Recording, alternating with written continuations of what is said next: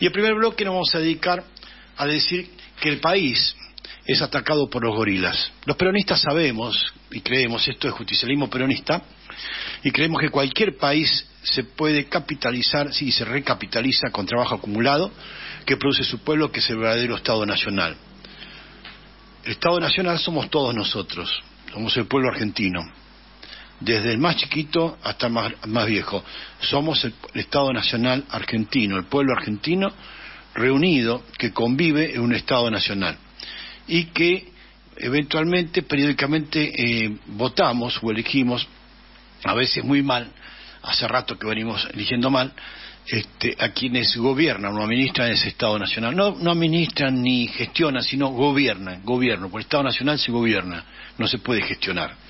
Tergiversado por un montón de versos, como la, como la gestión, deuda, dólares blue, oficial, la negrada de los cucas, no entendemos, nosotros, la negrada de los cucas, no entendemos la dolarización ni la libertad individualista. Los peronistas revolucionarios y comprometidos, como todos los que nos están escuchando, con los que compartimos estas ideas, el seminario de conducción política, este, Justicialismo Peronista TV, que posiblemente si tenemos suerte y Edenor y el agua y la mar en balde no nos para, este, podremos arrancar este jueves de, de 16 a 17 por TV Sindical, por los compañeros de TV Sindical ahí en la TDA y por, por YouTube y compañía, ¿no?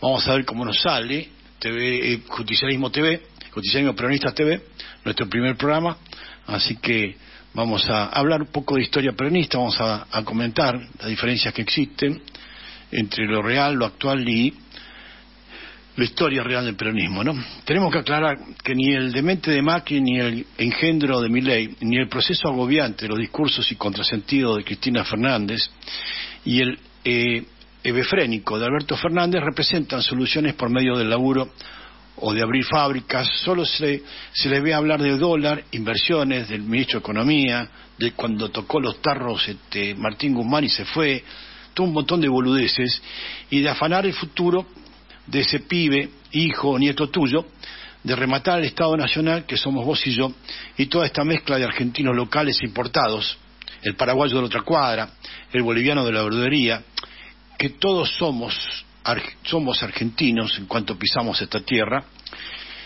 y somos todos lo que hay, lo que se puede. Y escuchamos el audio entonces de Cristina Fernández de Quine, por favor.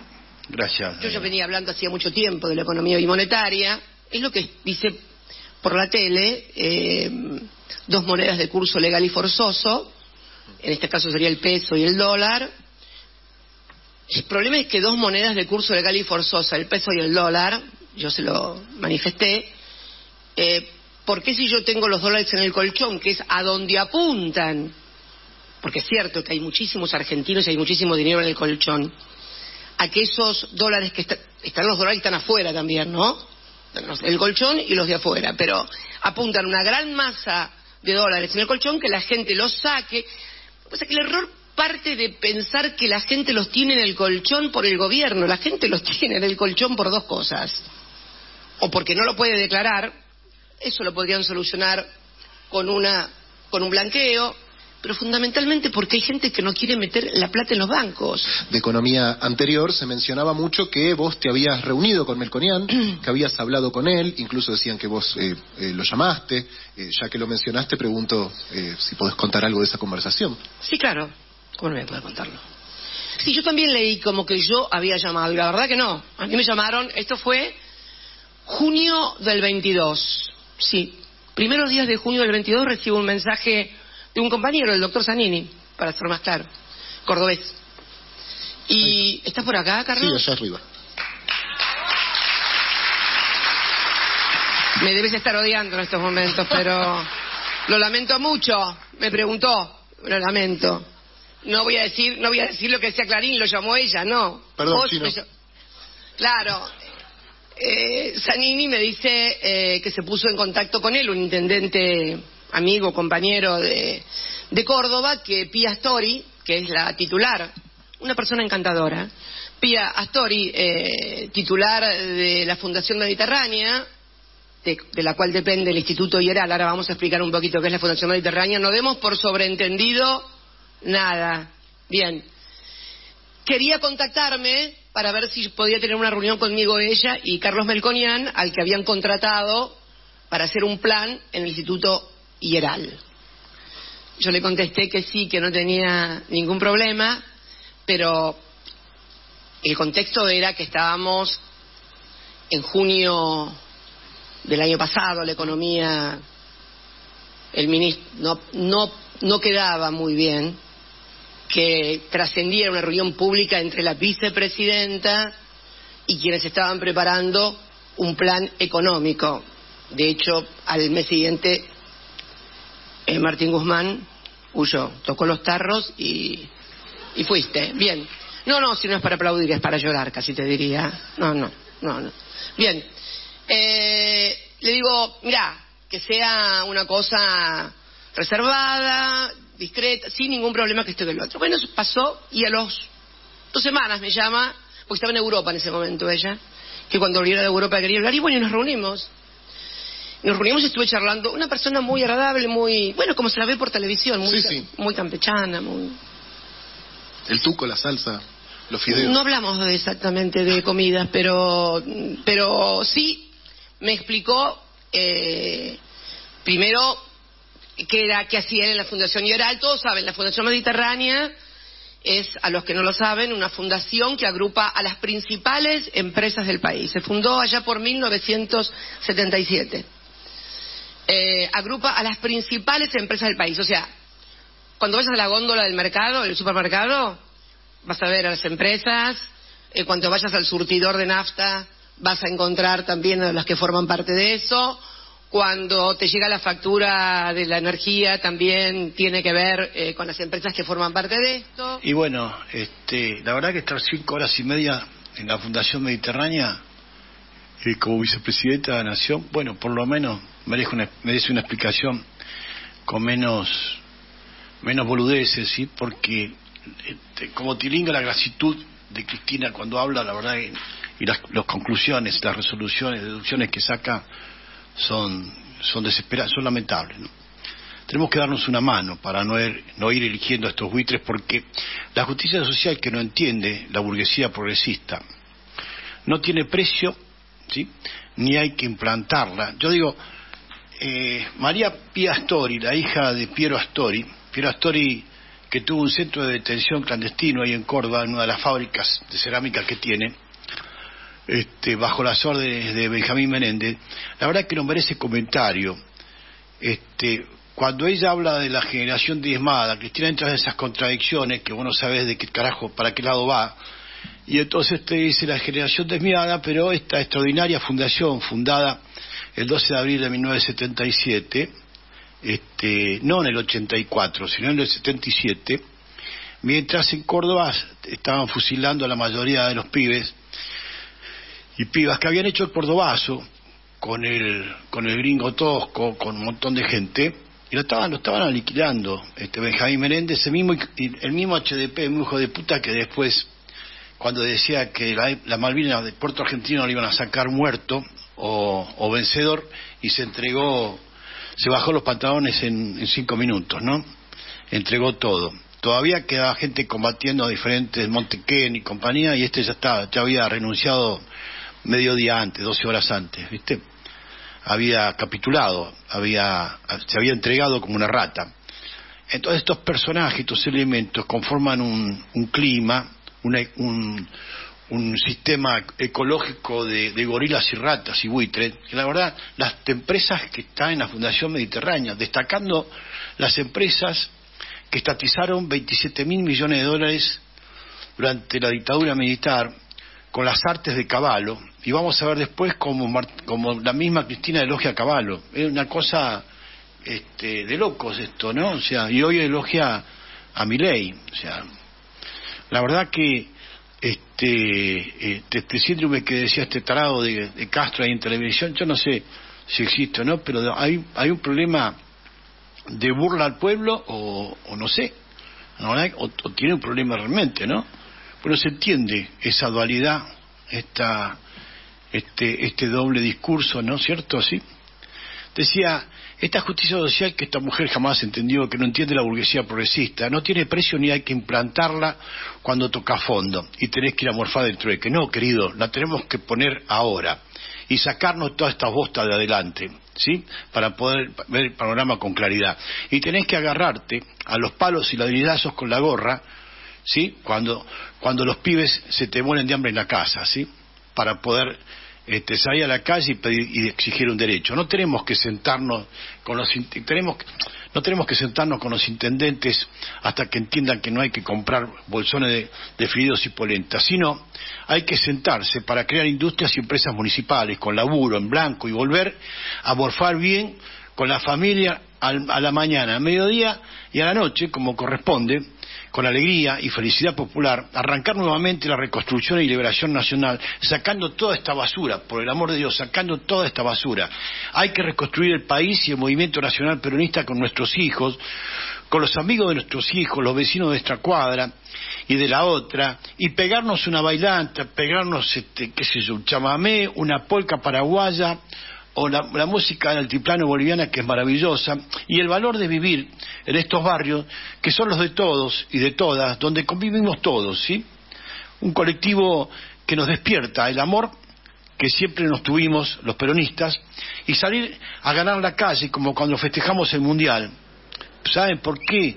Porque Argentina es el mayor país con riqueza en el mundo. Y no podemos, ninguno de nosotros, muchachos, tenemos vocación de pobre ni de miserable. Lo miserable lo venimos escuchando. Y ahora escuchamos el padre, el, el bisnieto de puta de lo miserable. Escuchamos el audio de Martínez Dios, estos 12 puntos.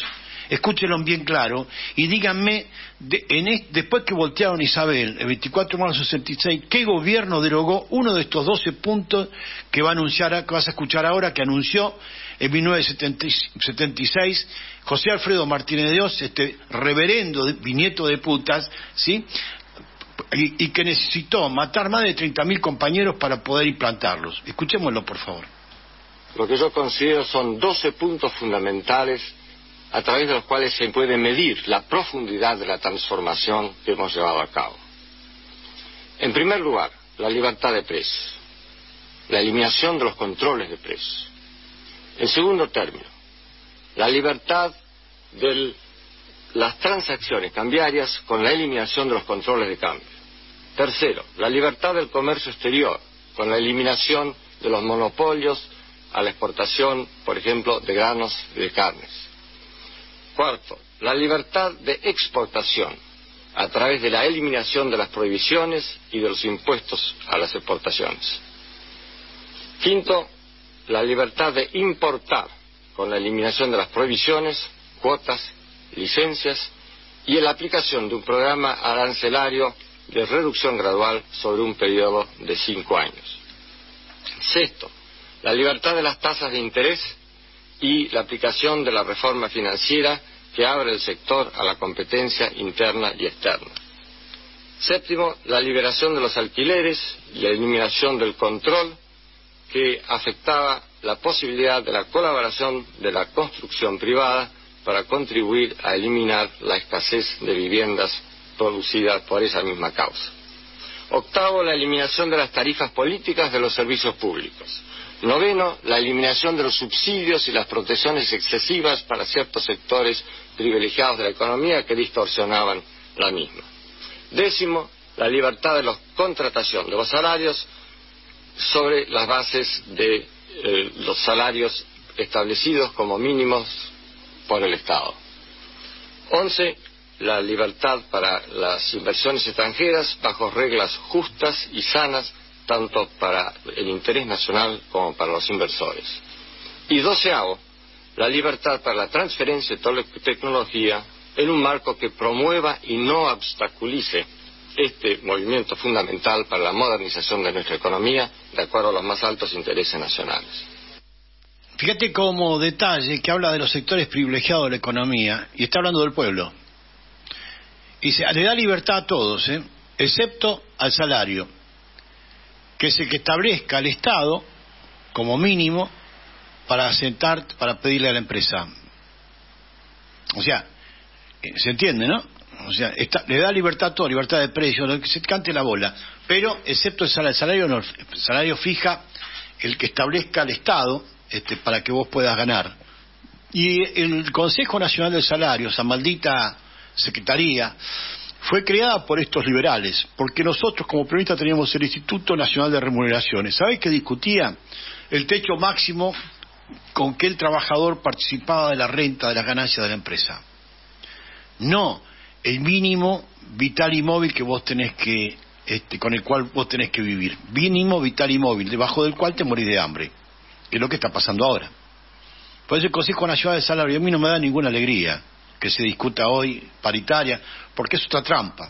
Porque por más que vayas a discutir paritaria, si la trampa te establece el sistema, siempre vas a estar corriendo atrás pidiendo la yapa.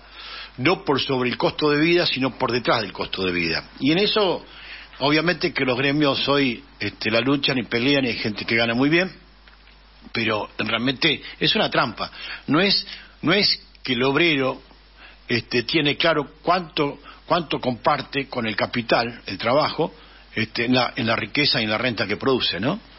Sino que eh, pasa a ser el trabajo un costo del proceso de capital y no el capital una herramienta de trabajo como propone el peronismo, ¿no es cierto? Son dos cosas distintas. Por eso, de estas medidas están todas vigentes y ahora se implantan a los palos, ¿no es cierto?, con las leyes de, esta, de, este animal de, de mi ley. Un pueblo entristecido con la mentira de discurso de la histérica por haber sido sometido a un sistema político imperialista que dictó Martínez Dios en 1976. Nadie dejó de seguir, Cristina, Alberto, toda esta banda siguieron la línea esta. Yo me acuerdo que Cristina decía, si será bueno mi gobierno que hasta, hasta Soros, George Soros viene a invertir en Argentina. Pero Flaco lo acaba de decir Martínez Dios, la libertad para que vengan las inversiones. ¿Qué, qué inversión? Compraron el Banco Hipotecario Nacional, metieron los créditos UBA que dejaron de culo al norte más de uno, entonces, ¿de qué estamos hablando? ¿De qué, de qué inversiones? Un Martínez dio que de ningún gobierno ni siquiera cambió una coma. Y este país, con riqueza en reservas de gas y petróleo para 200 años, se ha convertido en una colonia donde todo se debate para mantener la división del criterio del pueblo, ¿viste? embarullar al pueblo para que el pueblo se enseguezca y no, sepa cómo, cómo, seguir.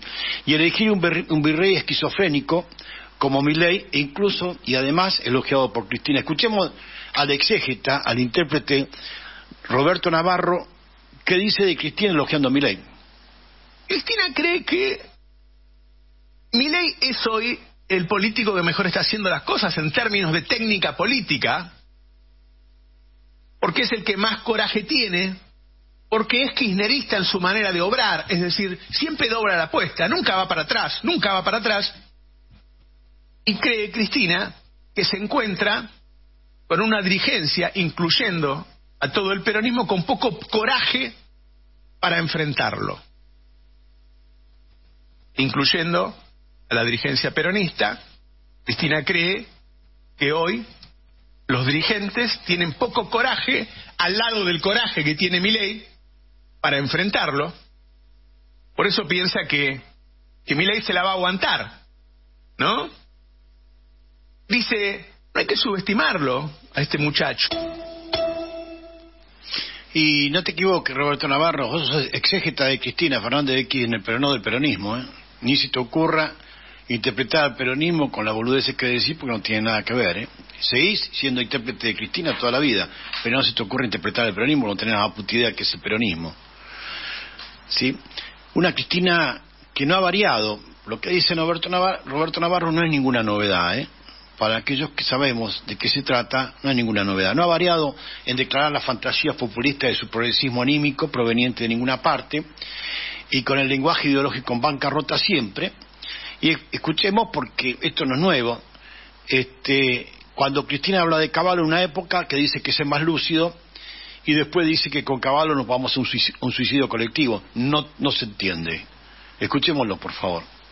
Yo creo que tienen méritos mm, Irma, creo que tiene méritos eh, Caballo, creo que tiene méritos Beris incuestionables. Un paradigma o un representante como Caballo, yo estimo que Caballo es el cuadro más lúcido, más lúcido que ha tenido, que ha delegado en Can Capital aquí en Argentina.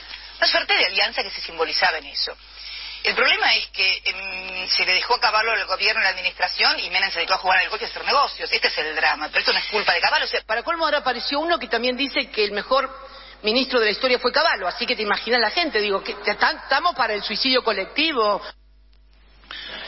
Y debido a ello, un pueblo dividido con la diversidad de opiniones, fíjense que hasta ella misma se, se, se, declara y se persigue, o sea, es una cosa es como, como el ladrón que es policía, ¿no? Este, roba y además se persigue.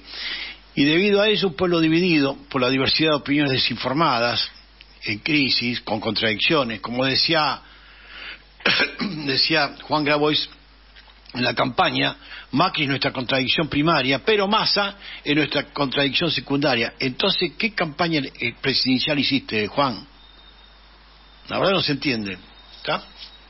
Las contradicciones son parte de la acción política este, de, del trotskismo, que me parece, me parece elogiosa que planteen la lucha política de esa manera, pero no es nuestra. Nosotros hablamos de la armonía, ¿sí? Es lo que siempre criticaron a Perón, el modo, el modo político de los romanos, colaboracionista, y no, y no la lucha de clases, ¿sí? Los romanos ocupaban territorio y después los pueblos venían a, agarrarse a los, a, los, espadazos con los, a los palazos con los romanos, pero los romanos siempre trabajaban dentro de un sistema de colaborativo, ¿no?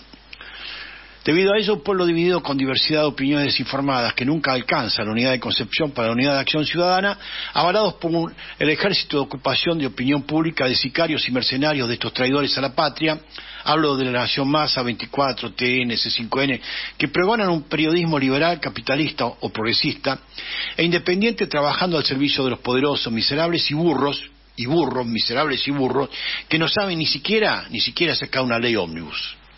No saben ni siquiera sacar una ley. Y estos boludos los apoyan como si fueran lo más grande del mundo, ¿no? Como acaba de escuchar Cristina cuando hablaba de Caballo el más lúcido y compañía. Bueno, es una, es una línea de trabajo, compañeros. O, hablar de mi ley, que es el tipo de su kirchnerista potencial. Esta causa argentina es la de un país riquísimo.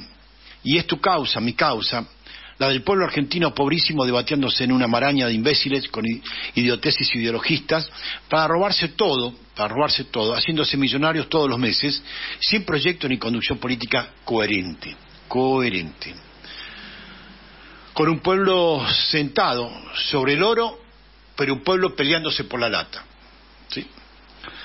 Riqueza por la que los periodistas y falsos políticos piensan que la riqueza este, que las consecuencias actuales son seguir hundiendo el país, rompiendo todo.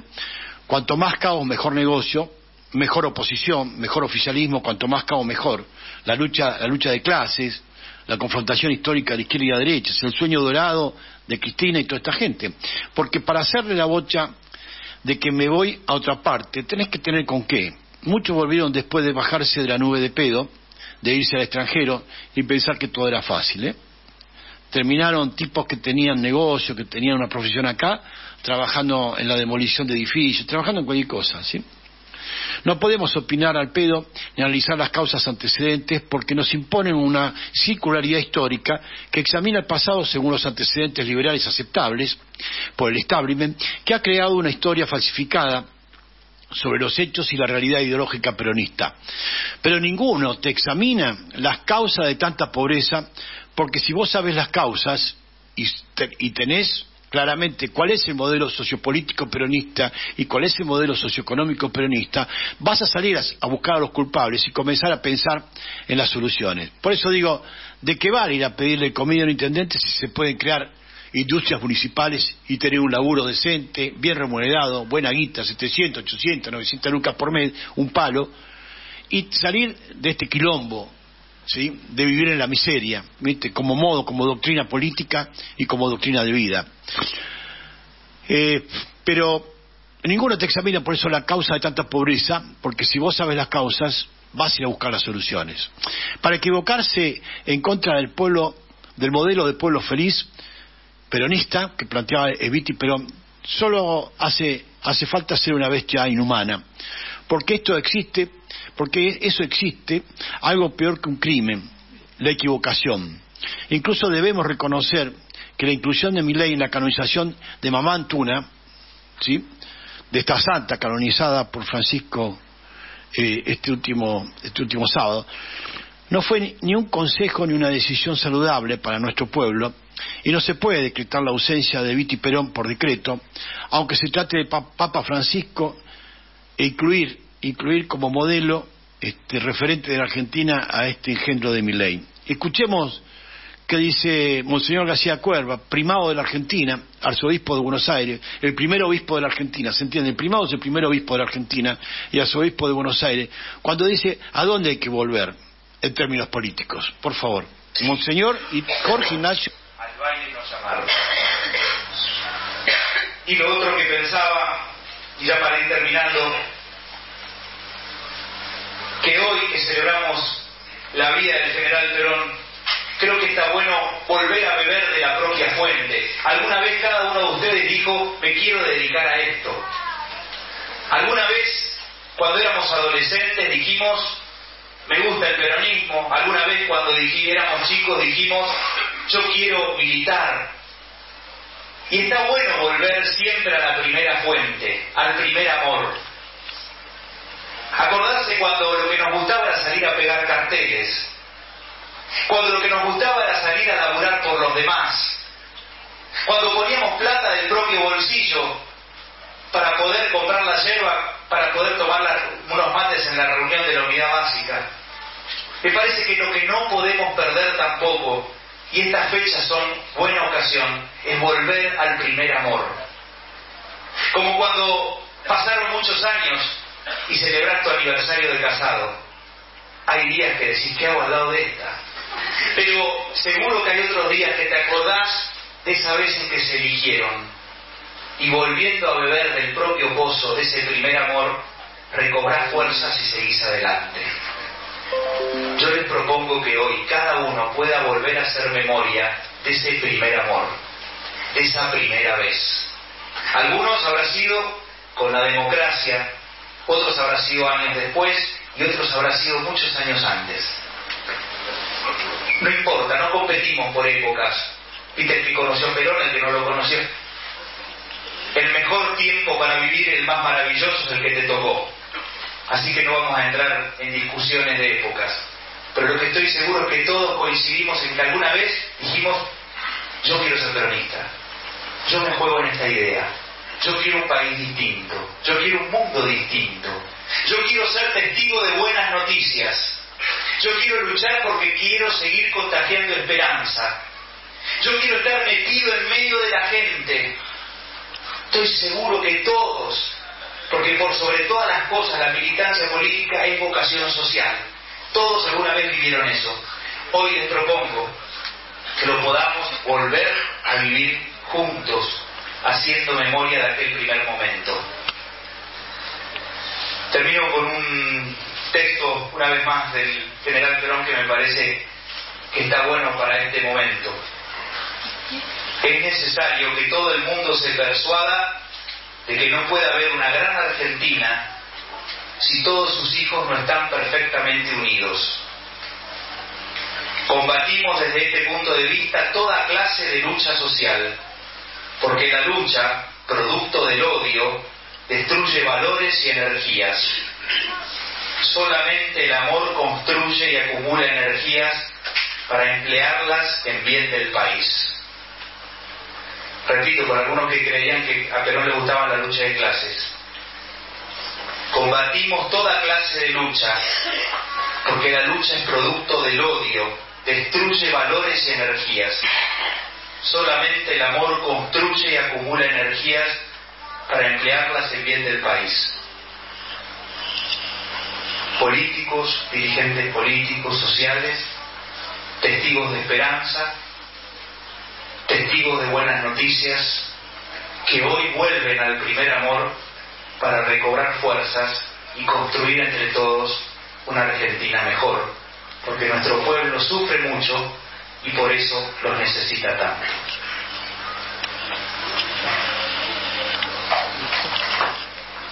Y por eso digo, incluso reconocer que la inclusión de mi ley en la canonización de de Santa María Antonia, de Santa Mamá Antuna, esta querida santiagueña, que cuando los jesuitas fueron rajados acá por, por meterse a hacer política, a desarrollar la justicia social, los rajaron, los rajaron los, los, los conquistadores españoles, esta señora, esta, santa mamá Antuna siguió dando vueltas, terminó, su, su, sus restos están acá en una tumba en la iglesia de la Piedad, acá en Paraná y Bartolomé Mitre, siguió militando, sigue militando eso, el desarrollo, la promoción social de los pueblos originarios, ¿sí? y evangelizando y dándole palo a la vida, este, y sufriendo obviamente todo lo que se imaginan de un sistema colonial, ¿no es cierto? ¿Sí? Por eso es muy importante este, que no se puede en una en un, canonizando una, una San Mamá Antuna o Santa María Antonia como quieran no se puede decretar la ausencia de Viti Perón por decreto sí porque casualmente están vinculados una mamá Antuna con una Evita sí aunque se trate como dije recién de papá del Papa Francisco. Y como dijo García Cuerva, es hora de que el Papa Francisco vuelva a primer amor. Que nos vuelven a cometer con el mismo genocidio humano y económico que el 24 de marzo de 76, pero dosificado por la circularidad histórica de que sin golpe de Estado llegamos a lo mismo, este, con elecciones libres y ponemos otro, y en lugar de Rafael Videla tenemos a Javier Milei. Porque los jóvenes de hoy ya no saben cuáles son los derechos laborales y sociales, eh, el sindicato, la higiene y seguridad laboral, la estabilidad obligatoria de tu trabajo y que debe cumplir la empresa, las vacaciones y feriados pagos, los fondos de prevención. O estaba escuchando hoy mi hijo mayor que me decía, y yo no sé si nos pagan el, feriado de, carnaval en el laburo. ¿Por qué no saben que esto, que esto existe, que esto está legislado, que hay una ley que te, lo, exige a la empresa pagar las vacaciones y los feriados? los fondos de previsión y retiro obligatorio que deben hacer, hacer, hacerte en tu laburo, y muchos derechos que no saben ni cuál es la ley, que es la 20.744 del contrato de trabajo, que tiene cientos de artículos que otorgaron, 316 artículos, la ley 20.744, la ley de contrato de trabajo, léela para saber qué derecho a qué tenés y que tu sindicato te lo tiene que el sindicato representa los intereses profesionales de los trabajadores. Y cuando hablo de intereses profesionales, no de los contadores o doctores, sino de la profesión que vos ejercés en el arte de tu oficio con tu trabajo. Los intereses profesionales de tu trabajo. Que tiene ciertos artículos esta ley que te otorgan estos y muchos otros derechos, sancionada por Isabel Perón y silenciada, obviamente, silenciada, precisamente por, por esto y muchas cosas más, fundamentalmente por esta extraordinaria ley de contrato de trabajo, que tiene 316 artículos y que ninguno de estos boludos, estos, boludos, la Tilinga y compañía, saben a defender cuando con la ley ómnibus la van a hacer pelota y con el decreto, el DNU también. Que te otorga, pero como los chicos no saben que existen estos derechos, se piensan que estamos todavía en la época de la prehistoria, ¿está? luchando de unitarios y federales, ¿sí?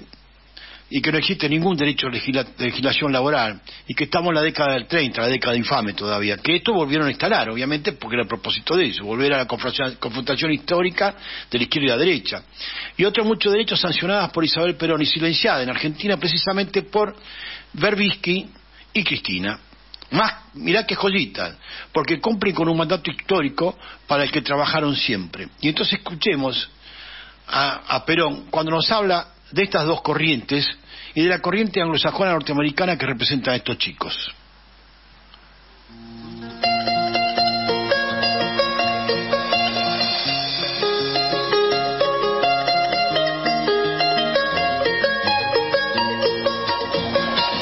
Nosotros en general no hemos dejado nunca de comprender que dentro de la historia argentina han habido dos líneas perfectamente bien establecidas eh, cuando se liberan la nuestra, nuestros países en la independencia, esa liberación es un poquitito más compleja de lo que pareció, porque era el nacimiento del imperialismo británico.